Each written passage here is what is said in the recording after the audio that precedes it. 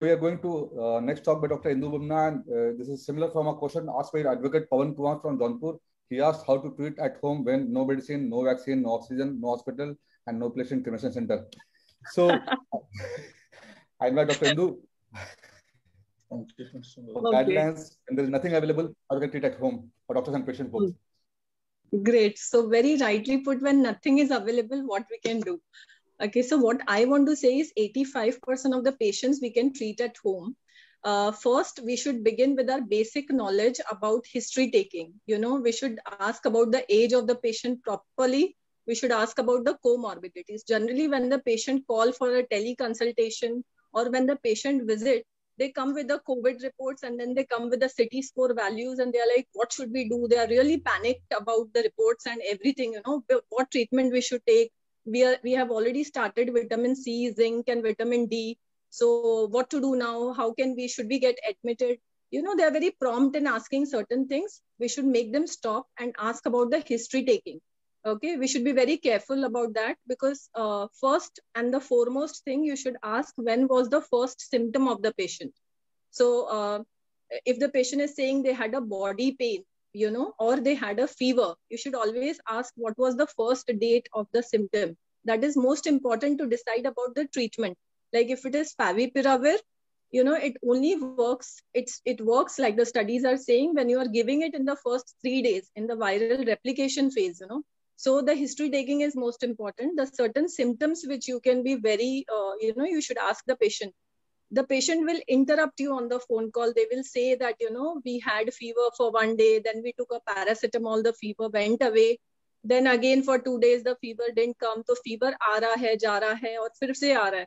So you cut them you can ask them okay for how many days you got the fever you know? So few basic symptoms you have to ask. Fever cough breathlessness abdominal symptoms like loose motion vomiting. You can ask for there is a dry cough जैसे एक patient ने बोला था उनके मुँह में पंखा लगा हुआ है, ऐसे बोला था you know so there is a dry cough there is a dry mouth okay there could be a rash on the body it could be a red eye it could be a severe body pain or it could be weakness severe weakness you know so these are the complaints what we are seeing in the second wave of the covid so always ask the patient the first day of the symptom and note down the date of that even if you don't have the COVID reports, you can uh, 100% tell whether the patient has a COVID or doesn't have COVID.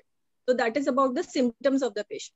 Then you can ask about the comorbidities, whether the patient is hypertensive, is diabetic, whether do they have any, uh, you know, any other heart problems or thyroid or lung issues. Okay, that depends whether to hospitalize the patient. So age, if it is more than 60, the patient with comorbidities with low oxygen, the patient needs hospitalized, hospitalization. So every point is very important.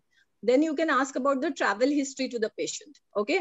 अभी दो साल एक साल हो गए हैं bore हो गए हैं सो घूमने चले गए ट्रैवल कर लिया and then incidentally they turned out to be covid so that is again about the travel history second uh, you have to ask about the covid contact history also घर में या फ्रेंड्स या office किसी को भी Covid हुआ है that also denotes along with some jo patient ko severe body pain hai so that shows that the patient could be covid positive. So he goes into the category of covid suspect. So uh, you know depending on the symptoms first thing even if the saturation are normal i personally without the rt-pcr i start Fabi uh, favipiravir all right because when you give it in the first three days of the symptoms first three days of the illness it really works. I believe that all right. Then comes uh, the investigation. Again the rt-pcr when you do on the first day the report can come negative. Uh, if the technique is not correct the report can come negative. If the viral load is less the report can be negative. So it should be repeated on the fifth day of the symptom. If it comes negative then repeat again. And you have to tell the patient that the reports can come negative. We need to repeat that.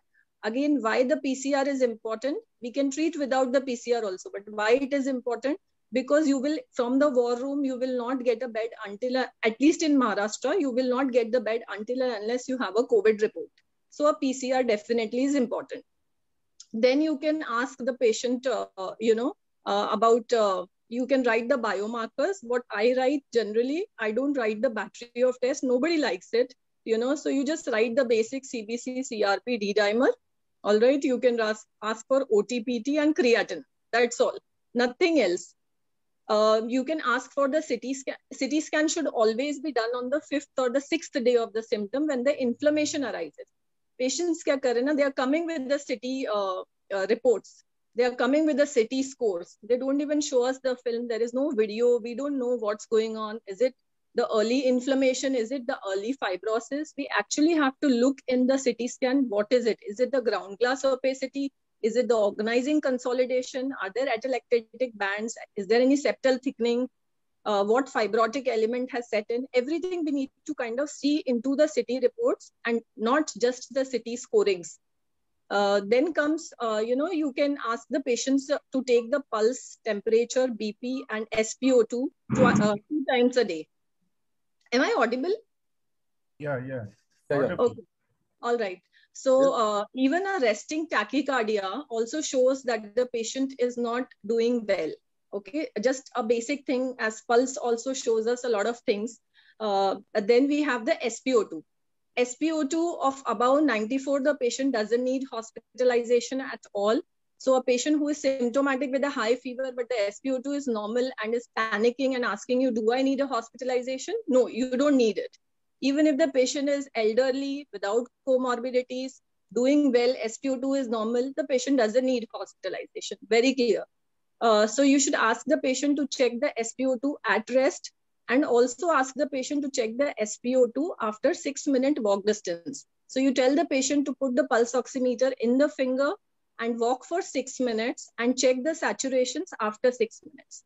Now, if the patient is elderly, about 60 years, you can make them walk for three minutes also and tell them uh, to kind of note down their saturations at the end of three minutes. Now, if the saturations drop below 94%, that means that the patient has got exertional dyspnea. Now, this shows that the patient has got pulmonary involvement.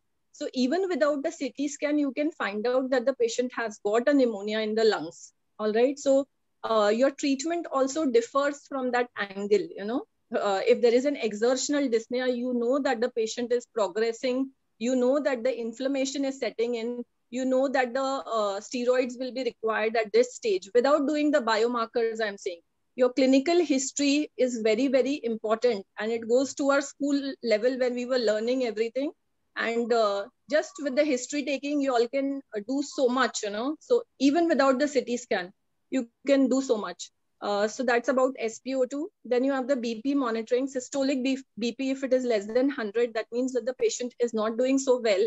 So you have to also take care of that. Now, if the patient is diabetic and you are putting the patient on steroids, uh, you also have to tell the patient that take a diabetologist's uh, uh, opinion because your sugars are going to go up when the patient is on anti-inflammatory.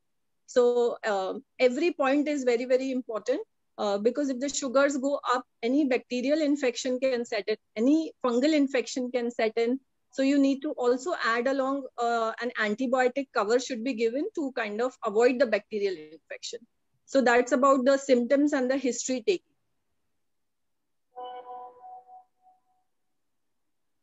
Okay, so if we go about the investigation, I already discussed about the RT-PCR. Uh, if I talk about the biomarkers, and I would say just a CBC, CRP, D-dimer. Don't ask for a battery of tests like an LDH or a ferritin or an IL-6. IL, IL-6, as Dr. Afreen said, it's going to show a huge variation, uh, all right, because it depends on the transport. It depends on how quickly it is, uh, you know, processed. Uh, it should not be done unnecessarily. Uh, and I don't do it at all, you know, the IL-6 levels. Uh, besides that, uh, what you can ask the patient is OTPT and creatinine levels. That's all. Uh, because most of the times I've seen that OTPT is borderline high. So it's better to kind of do that because the patient, you would be putting them on favipiravir or as per your state guidance, you might put the patient on doxy or ivermectin or whatever. All right. Uh, then you can ask for the CT scan on the fifth, fifth or the sixth day. Don't ask for the CT scans too early. Uh, now, coming to the treatment part, I would say that uh, treatment, what you have to give is, again, you should know the classification. So Maharashtra Task Force classification has very beautifully uh, classified it clinically in terms of mild, moderate, and severe disease. Okay, and then you have the staging, which is uh, stage one, uh, and group A, B, C. Then you have group C, uh, D, and E, which is moderate disease, and then you have the group E, which is the severe disease. Okay, so now you have uh, group A, which is asymptomatic patients. Now, asymptomatic patients who are there, they only require vitamin C, zinc, and vitamin uh, D. Nothing else. They don't need anything, and probably a do- uh, you know they don't even have a fever, so they don't need anything. Uh, just the vitamins to kind of boost them with the immunity. Then you have the symptomatics all right uh, so they could have a upper respiratory involvement of, or a abdominal involvement like a fever they can have loose motion vomiting uh, loss of smell loss of taste. So over there you can add a favipiravir. All right uh, you can add a vitamin c zinc and vitamin d. You can add a ppi over there. Uh, you can add an early budesonide over there. There are a lot of studies which shows that an early budesonide inhaler helps to uh, it helps in the reco- early recovery of the patient. Uh, so you can add that early. You can add a Montelukast levocetirizine early. Uh, so this is about the symptomatics, okay, uh, without comorbidities. Then you have the uh, uh, you have the stage uh, C, you know, the group C basically, which are symptomatics with comorbidities. Now, comorbidities will be like, you know, you have to see the age, you have to see diabetes, hypertension, any lung issues, kidney issues, everything. Uh, so over there, you add again favipiravir with an antibiotic you can add because if the patient is diabetic, you have to be more careful. So you can give any oral antibiotic as per your local setting and uh, along with the regular vitamins what we are adding. And an early budesonide really helps so you should add that because it is a again uh, inhaled steroids. All right so that's about uh, uh, you know the then we have the moderate disease. Moderate disease means there is a pulmonary involvement. There is pneumonia Okay, so uh, there is a group D which is without uh, hypoxia. So there is a pulmonary involvement without hypoxia when the SpO2 is above 94. So if it is above 94, you again don't need a steroid involvement. So you have to check for the CRP and the D dimers. Now, moderate disease, there is a gray area, you know, when the CRP D dimers are normal, patient saturations are around 94, 95, slightly dropping, but not really as per the protocol below 93. So you don't need steroids when they are borderline. So again, one single CRP or a one single D dimer, you should not strategize your treatment as per one report, you know. So a CRP of seven or eight and the patient is doing very well, you don't have to add a steroids. Early steroids would actually do more harm to the patient because, you know, they can catch an infection or whatever later. So it's always good to kind of see the trend of the biomarkers like a CRP or the D dimer. Or you can in the CBC also, you can uh, actually look for the lymphocyte. The lymphocytes will be dropping. You have to see the NLR ratio. If it is more than 3.5, that means uh, that the patient is progressing to a severe disease. It tells us about the severity of the disease. You can look at the lymphocytes and the monocytes. The monocytes will be rising, the lymphocytes are going down. Again, it tells us about the progression of the disease you also have to look for the platelets. So if the platelets are 70, 80,000, then you cannot add an oral anticoagulant. That patient might bleed. So you have to watch very carefully every parameter, whether it is a CBC, whether it is a CRP or a D-dimer or an OTPT or a creatinine, everything. Now PCT, again, uh, you know, it is a very good biomarker, uh, you know, uh, to kind of add an antibiotic if you want to add and when to stop the antibiotic, a PCT is a very good marker because it does not rise in COVID. It only rises when there is a bacterial infection or if there is a fungal infection. So uh, that's about the pulmonary involvement uh, without hypoxia patients. Then we have the pulmonary involvement group uh, E, uh, group D basically. So that is a pulmonary involvement with hypoxia. So here the patients where the saturations are below 94, they require remdesivir, they require steroids, and uh, you know they need to be hospitalized. They need to um, have a supplemental oxygen. Again, because the bed is not available, uh, the saturations really of 94, 95, 93, and the patients are doing well you can actually manage at home if the beds are not available. So instead of IV methylprednisolone, you can give an oral steroid also, you know, at this stage. So that's about uh, the home management. And patients are really doing well. I've seen CRPs of 40, 50, 60, 70 uh, treated at home, doing very, very well. D-dimers of 2, 3, responding very well to the newer uh, oral anticoagulants. Yeah. So I would like to take more questions and make it a really interactive session rather than me just telling about it. Any questions would be welcome. There is one group in which the CRP level is prolonged for a long time. How will you manage? Even after stopping all the patient is totally asymptomatic, but still CRP is high. Correct. So, sir, CRP will rise with any kind of inflammation happening in the body. Like not generally in COVID, but post other- COVID, post COVID. But At after 10 days, still patient totally asymptomatic, nothing. But CRP is high. But CRP is high, so you can taper the steroids and you can stop the steroids if the patient is doing well. One can repeat a CT scan after six to eight weeks and not too early also. And that will decide whether we need to stop the steroids that way. Only CRPs, again, I'm saying we should not be dependent on CRP or any uh, D-dimer alone. We have to see the clinical profile of the patient. Yes, yes. Yes. Dr. Indu for a wonderful discussion about guidelines. Very nice.